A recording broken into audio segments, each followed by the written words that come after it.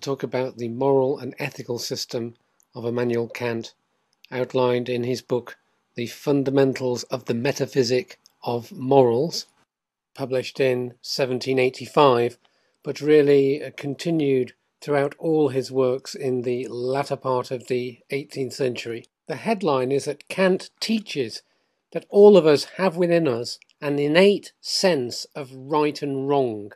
He calls it the moral law within, and we're always aware of this law at all times, regardless of circumstances. Any person may do an immoral act of some sort, such as telling a lie, and they might well get away with it, and they might calculate they're bound to get away with it.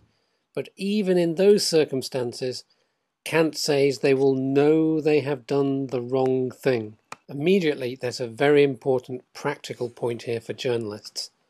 No philosopher, certainly not Kant, would think that any of us, as journalists or just as ordinary people, could ever say they knew the truth about any matter.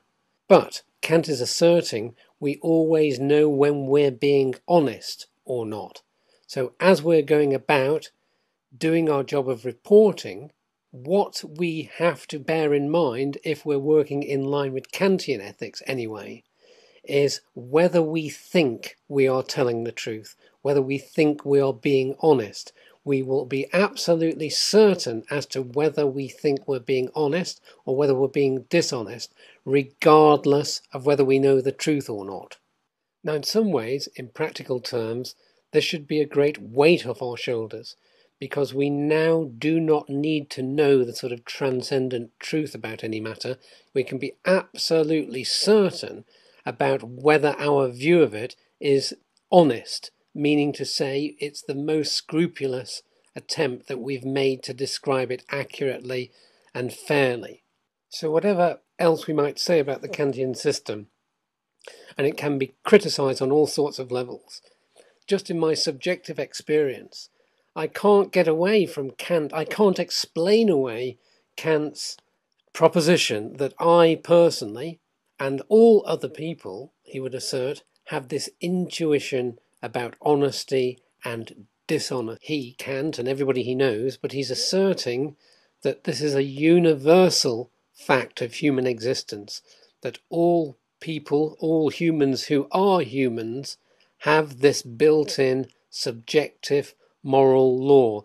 They intuitively know the difference between right and wrong between good acts and bad acts, and that such an awakening of, of moral awareness happens quite young in the development of the person, almost from the time they can uh, talk. Now, there's an immediate objection to Kant on empiricist and anthropological grounds. Anthropology being the comparative study of the belief systems and customs of uh, different societies, different civilizations. It might be that in our civilization, for example, uh, cannibalism is taboo, it's a bad thing, and we would have a moral intuition that we shouldn't do it even if we were starving to death. This is a, a discussion that came up in connection with reading Jonathan Swift's satire, A Modest Proposal. Yet there might be either an actual or possible other civilization where cannibalism was um, either morally neutral or perhaps even a good thing, a, mark of respect.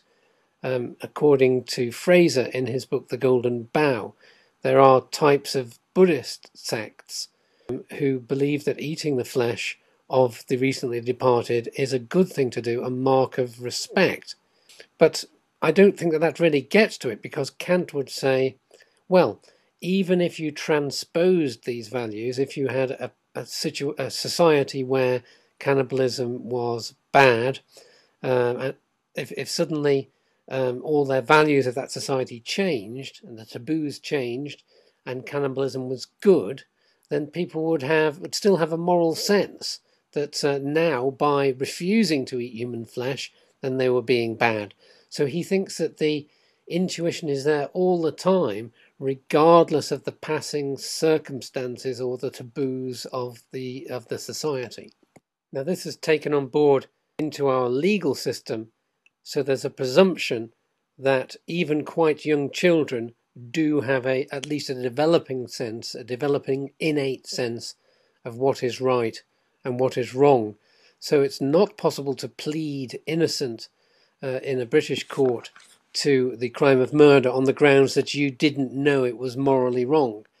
There might be people like that, but we would have to define them as, um, in, in, modern terms, uh, psychopaths. The sense of right and wrong for Kant is very close to the core of what it means to be human. For Aristotle, man is the political animal, but for Kant, man is the moral animal. This is what sets us part, apart from uh, other creatures, is we have uh, this innate sense, this intuition of what is morally right and what is morally wrong. Given this subjective, intuitive basis of morality, how then does Kant say we should live our lives? Uh, what rules, laws, principles should we adopt in order uh, to live the good life, to be good people, to pursue justice?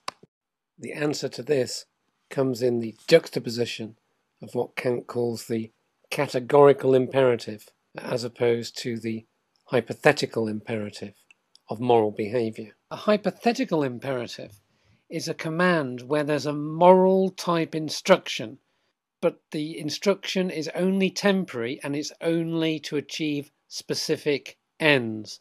So, for example, if you want to pass your journalism exam, tell the truth in your news reports. If you want to avoid failing on the fatal error system we have in news reporting, never lie.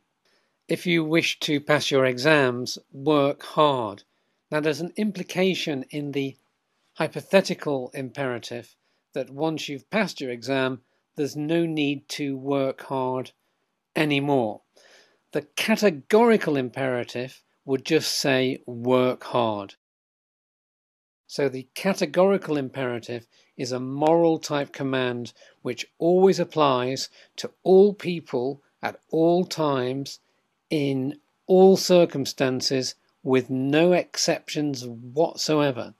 And for Kant, the test of whether a person is a moral person is only about whether they obey categorical imperatives which they set for themselves or which are set by society with their consent.